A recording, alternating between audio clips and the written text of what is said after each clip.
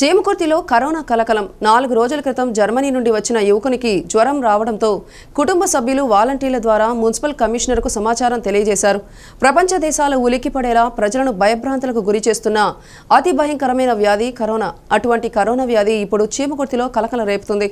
పద్దెనిమిదో తేదీ జర్మనీ నుండి బయలుదేరి పంతొమ్మిదో తేదీ మస్కట్ వచ్చి అక్కడ నుండి బెంగళూరు చేరుకొని బెంగళూరులో కరోనా పరీక్షల అనంతరం ఇరవయో తేదీ చేమకుర్తి వచ్చాడు. జర్మనీ నుండి చీమకుర్తి విద్యానగర్కు వచ్చిన యువకునికి జ్వరం రావడంతో కుటుంబ సభ్యులు వాలంటీర్ల ద్వారా చీమకుర్తి నగర పంచాయతీ కమిషనర్ డి. రవికుమార్కు తెలియజేయడంతో కమిషనర్ వెంటనే ఒంగోలు రెవెన్యూ డివిజనల్ అధికారి ఎం. ప్రభాకర్ రెడ్డికి చీమకుర్తి తహసీల్దార్ విజయ్ కుమార్కి తెలియపరచగా హుటాహుటిన ఆర్డీఓ చీమకుర్తి తహసీల్దార్ కార్యాలయంకు వచ్చి మీడియా సమావేశంలో మాట్లాడి ప్రత్యేక అంబులెన్స్లో కరోనా అనుమతిత యువకుని ఒంగోలు రిమ్స్కు తరలించారు. ప్రతి ఒక్క శాఖ కూడా ఈవెన్ మెడికల్ డిపార్ట్మెంట్ అందరూ కలిసి పనిచేస్తే తప్ప ఇది అయ్యేది కాదు. అండ్ యాజ్ ఫార్ యాజ్ మీరు అడిగారు కదా ఈ డంపింగ్ యార్డ్లు కానీ ఇంకోటి కానీ ఎక్కడైనా కూడా నలుగురు వ్యక్తులు కలిసి పనిచేసే పరిస్థితి ఉంటే దాన్ని నిరోధించాల్సిన అవసరం ఉంది. ఇప్పుడు ఫ్యాక్టరీలను వీటిని ముగించగలిగారు.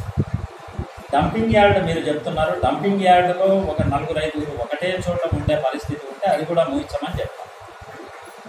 అయితే ఇక్కడ మనం ఆలోచించాల్సింది ఏమంటే కొన్ని కొన్ని అంటే అగ్రికల్చరల్ యాక్టివిటీస్ ఉంటాయి. అగ్రికల్చర్ లేబరర్స్ కానీ లేదంటే ఇంకా రొయ్యల చెరువుల లేబరర్స్ కానీ వీళ్ళని పూర్తిగా మనము మానేస్తే వాళ్ళ జీవనోపాధి దెబ్బతింటుంది. అందుకని మేమేం చేస్తున్నామంటే ఎసెన్షియల్గా ఏవైతే వాళ్ళు పోకపోతే ఆ వ్యాపారం కంప్లీట్గా నాశనం అయిపోతుంది వ్యాపారం అనకూడదు. ఆ అగ్రికల్చర్ యాక్టివిటీ కానీ లేదంటే ఇంకోటి కానీ రైతులు పూర్తిగా దెబ్బతింటారన్న చోట మాత్రం వాళ్ళందరికీ ముందు జాగ్రత్త చెప్పి ఎవరు కూడా నలుగురు భూమి చూసేటట్టు